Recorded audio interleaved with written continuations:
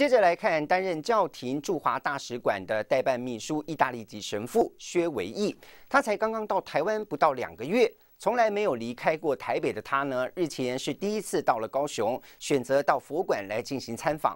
而这一次的人间佛教初体验，让他感到十分的新奇，在当中也了解到这是一个互相尊重还有包容的地方。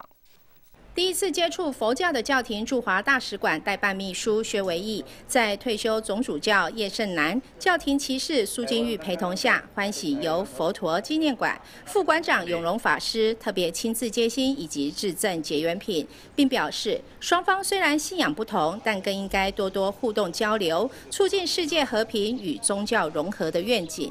薛维义也表示，这是一个互相尊重包容的地方，让他十分感动。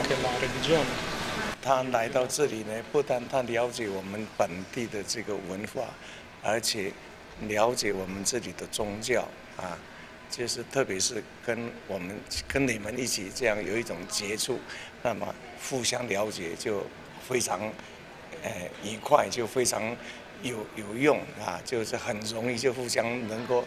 沟通能够融合一起。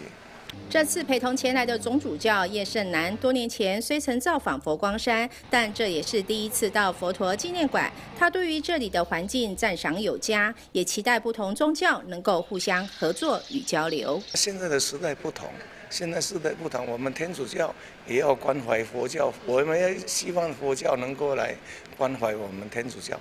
为什么？因为我们大家都有共同这个人类的一种目标。是吧？那这种目标呢，不是你单独能够办到的啊！你需要不同的宗教，大家来合作。我非常感动，为什么？这是表示说，这个佛教对这个文化啊，对我们这个中国历史非常尊重，而且非常道地，对不对？是令我们非常感动的。三人跟着佛光小姐的导览，细细聆听佛馆的一切，不论是护身图、中石馆，大家都感受到人间佛教的亲切与平易近人，以及宗教融合与包容。他们都说这是一个令人欢喜的地方。人间卫视苏娟娟、刘康林高雄采访报道。